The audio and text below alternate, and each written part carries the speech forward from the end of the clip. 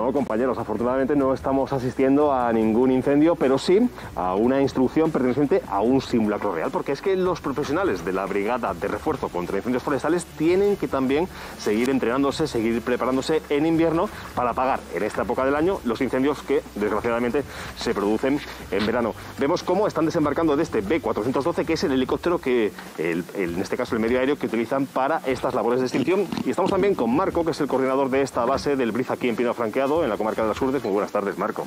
Hola, muy buenas tardes. Vemos cómo la coordinación es esencial.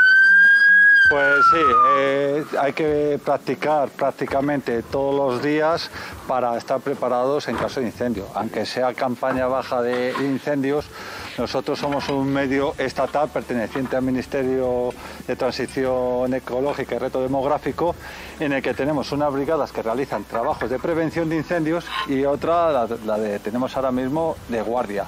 Y durante la guardia lo que hacemos son diferentes entrenamientos. Como ahora, por ejemplo, estamos formando y como sería una formación real en caso de un incendio. Sí, sí, estamos practicando el embarque y el desembarque con el medio aéreo en el que probamos las diferentes herramientas, las diferentes metodologías y aquí pueden ver... Estas son las herramientas que lleváis generalmente. Sí, eh, estas son herramientas que utilizamos para la línea dos pies y para remate del incendio. No solamente es echar agua o, darle con el batefuego. También hay que apartar el combustible quemado de lo verde para que no se reproduzca. Y esto, por ejemplo, es un gorgi, que es una de las herramientas que, que se usa.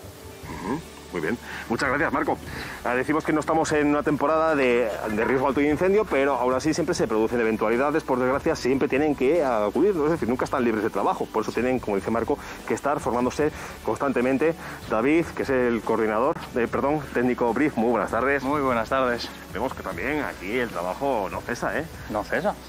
Vemos aquí también cómo sacan este ¿Eh? El Bambi, ¿eh? el típico Bambi, lo que carga el agua para apagar el incendio, lo que vemos generalmente cuando vuelan los helicópteros, los medios aéreos, hay que sacarlo entre tres personas. Entre tres personas. es una de las características que nos brinda esta aeronave. Ahora mismo lo que van a ver es el desembarque del Vivalde, el que nos apoya en el frente de llama, eh, nos va descargando el agua y es muy efectivo y nos ayuda mucho en nuestra labor. Como veis, son las tres personas Llevamos también una motosierra, que es la que nos ayuda eh, en la vegetación leñosa para abrirnos camino y poder trabajar. Y ahora lo que van a hacer es sacar el combustible, todo de la cesta. En este momento quedaría así.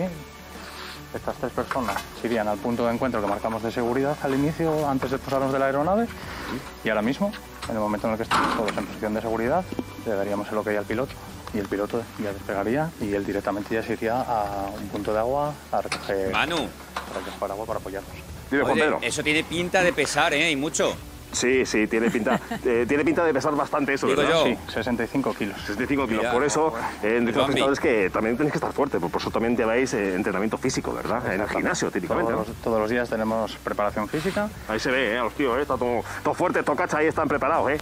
Porque además no solo, no solo acudís a apagar incendios, ¿no? Siempre, eh, como dependéis del, del, ministerio en este caso, tenéis que acudir a cualquier... Apoyamos a cualquier emergencia, que, que, surja, Cualquier comunidad requiera de nuestro apoyo. Y en estos momentos te voy a presentar a una Juan, especial. Aquí lo tenemos. Que es todo un icono en la brisa de pino. Lleva desde el año 92 siendo... Soy capataz de la brisa de pino franqueado. Y, el 92, lo que, lo que no has visto tú, ¿no, Juan? Hemos ido por toda España, donde ahí el ministerio nos requiere y, vamos, Sevilla, Castellón, Galicia y todo... Vamos, donde el ministerio nos requiere, allí estamos nosotros. Creo que creo que más recientemente habéis estado en Madrid retirando nieve de las calles. Sí, eh, habíamos estado quitando nieves en, en guarderías y institutos y esas cosas, ahora mismo con Filomena. Hemos estado también actuando allí en, con la nieve. Te vas a jubilar dentro de muy poquito. Espero, espero. Llevas prácticamente toda tu vida trabajando aquí y te vas a jubilar aquí. Toda mi vida aquí me, he pasado en la brisa de, de, Piño. Y espero que que, me jubile aquí, porque es mi trabajo y me encanta. y Su pasión casi. es un gran apoyo para todos. Al final la experiencia que lleva Juan encima es muy importante, la verdad. Me imagino que es un trabajo muy satisfactorio, ¿verdad?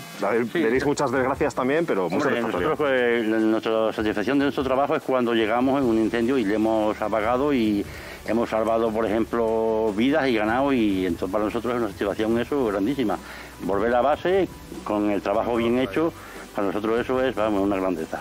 Muchas gracias Juan, David, Marco por ahí, muchas gracias a todos por estar aquí. Ya lo dicen ellos, la satisfacción de cumplir con el trabajo, en este caso, llegar, a apagar un incendio y volver aquí sanos y salvos y salvando vidas. Y es que gracias a ellos, aquí como decimos, se apagan los incendios de verano, ahora en invierno. Gracias Manu.